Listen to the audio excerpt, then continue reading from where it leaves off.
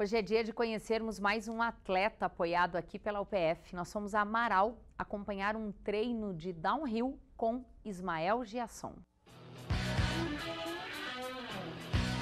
Tem que ter coragem para descer a toda velocidade e saltar assim. Ou então pedalar em meio a buracos e pedras, só por uma pequena trilha e ainda ladeira abaixo.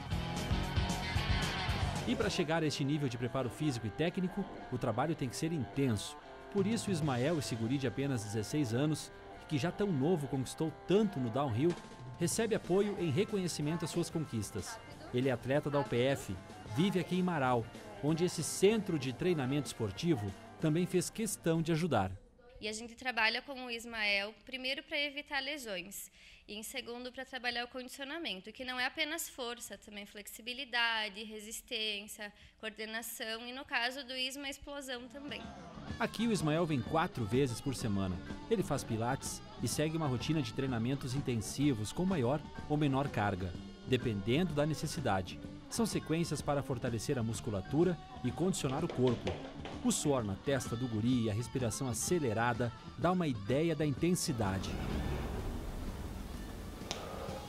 Esse é um trabalho acompanhado por oito profissionais, entre educadores físicos e fisioterapeutas.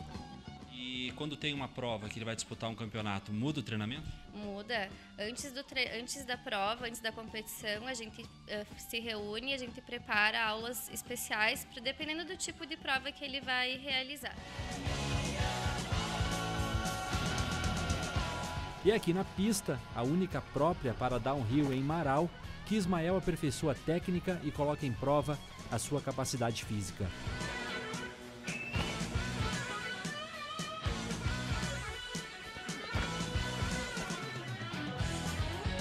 Ele tem cuidado máximo com a segurança, até porque é um esporte de alto risco. Por isso, a bike é de ótima qualidade, o capacete é profissional, assim como as luvas, joelheiras e sapatilhas. É muito também do piloto, mas se tu tem um equipamento adequado, uma bike boa, um equipamento de segurança bom, também ajuda bastante para as competições. Ismael, nessa curta carreira no esporte, conquistou títulos importantes. Em 2016, foi medalha de bronze no Pan-Americano no Peru.